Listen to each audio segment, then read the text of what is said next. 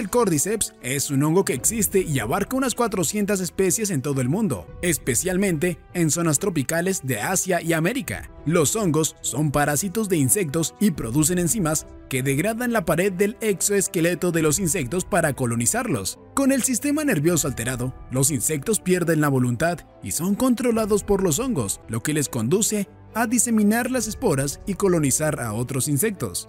Otros parásitos sí que podrían ser potencialmente más influyentes en nuestro comportamiento, como es el caso de un parásito que manipula a los chimpancés y los vuelve más temerarios. Lo que exactamente hace este parásito en los chimpancés es manipular su cerebro para que produzca el neurotransmisor GABA, que suele asociarse con una reducción de la sensación de miedo. Afortunadamente, este nivel de control por parte de los parásitos es todavía muy modesto, y también podemos estar seguros de que los hongos no nos convertirán en zombies, al menos de momento.